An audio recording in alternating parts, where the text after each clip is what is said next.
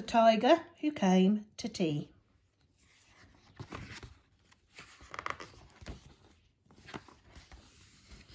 Once there was a little girl called Sophie and she was having tea with her mummy in the kitchen. Suddenly there was a ring at the door. Sophie's mummy said, I wonder who it can be. It can't be the milkman because he came this morning. And it can't be the boy from the grocer because this isn't the day he comes. And it can't be Daddy because he's got his key. We'd better open the door and see. Sophie opened the door and there was a big furry stripy tiger. The tiger said, excuse me, but I'm very hungry. Do you think I could have tea with you? Sophie's mummy said, of course, come in. The tiger came into the kitchen and sat down at the table. Sophie's mummy said, would you like a sandwich? But the tiger didn't just take one sandwich. He took all the sandwiches on the plate and swallowed them in one big mouthful. Om! And he still looked hungry, so Sophie passed him the buns.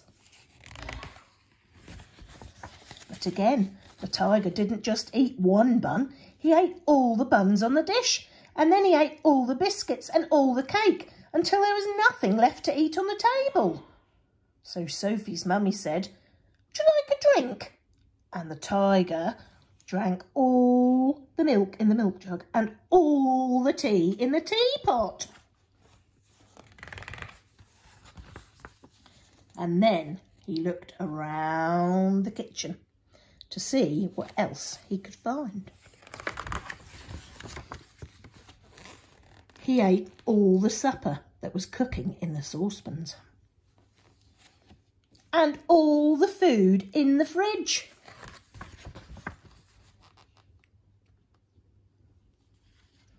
And all the packets and tins in the cupboards.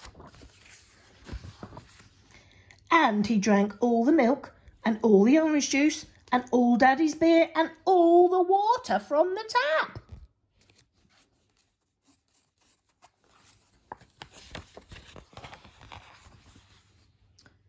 Then he said, Thank you for my nice tea. I think I'd better go now.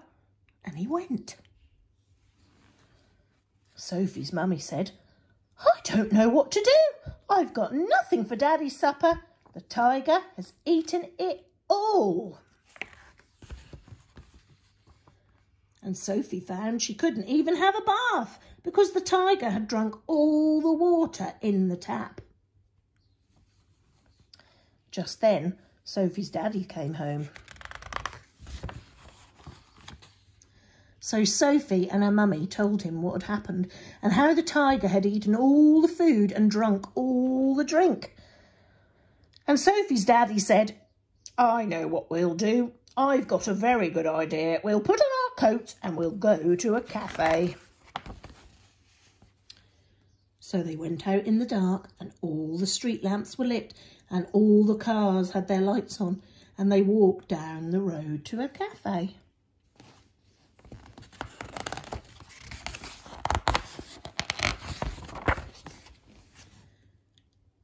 And they had a lovely supper with sausages and chips and ice cream.